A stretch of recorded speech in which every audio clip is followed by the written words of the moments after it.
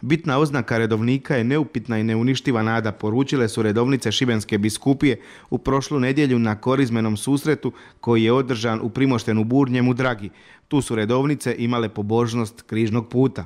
Život jedne redovnice e, zapravo je nasljedovanje Krista. Prema tome i nasljedovanje e, Krista i na njegovom križnom putu gdje je bilo i padova e, i dizanja, gdje je bilo i pomoći prijatelja i pljuvanja neprijatelja, gdje je, bilo, gdje je bila i majka i prijatelj pod križem. Tako i u životu jedne redovnice, što je sasvim normalno, ali i u životu svakog kršćanina, svakog vjernika križni put doista u životu e, e, osjećamo i živimo i evo e, moleći križni put zapravo proživljavamo i Isusova događanja, ali i naša osobna.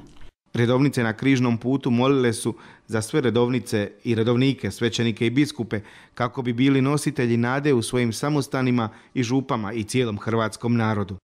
U križnom putu, u korizmi inače, čovjek malo dublje može ući u sebe, e, u vidjeti uopće svoje predanje, e, zbog čega darujem svoj život crkvi, e, svojoj zajednici, suobličiti se s Kristom, ali ovo naše zajedničko druženje, evo možda sestre neke i ne vidimo, ne vidimo se nego samo sad malo i evo i druženje s biskupom. E, tu nam je jako važno evo i da znamo jasno i da otac biskup o nama vodi brigu, da mu je do nas stalo, e, evo da i žrtvuje se na kraju krajeva ići e, i po ovoj uzbrtici s nama na križni put prikazujući molitve za nas, evo i mi za njega, što je sasvim razumljivo jer smo svi zapravo jedno. Šivenskom biskupu Anti Ivasu čestitale su 15 godina biskupske službe.